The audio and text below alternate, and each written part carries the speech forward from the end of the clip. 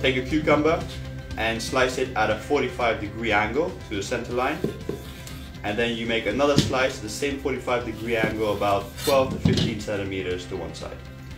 Then you slice it in half and you take one of these halves and you add three toothpicks on either side, just like this. Now the toothpicks are there to stop the knife from going all the way through. You want the cucumber to be in one piece after you do the slices, so this is how you do it. You can do it freehand, but it's much more difficult. As you can see here, the toothpicks stop it from going all the way through. Sometimes it do get stuck to the knife, but that doesn't really matter. That's why there's three of these. Now just keep slicing all the way through, uniformly, until you get to the end.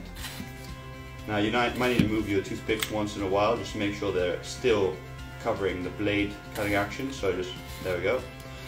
Okay, just keep slicing. Slices are about 1 to 2 millimeters thick and the same 45 degree angle. And you want them to be uniform and the same size cuts, otherwise when you arch it out it will look wonky.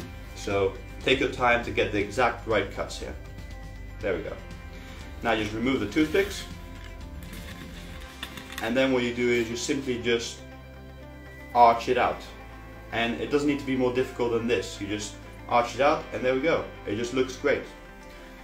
Okay voila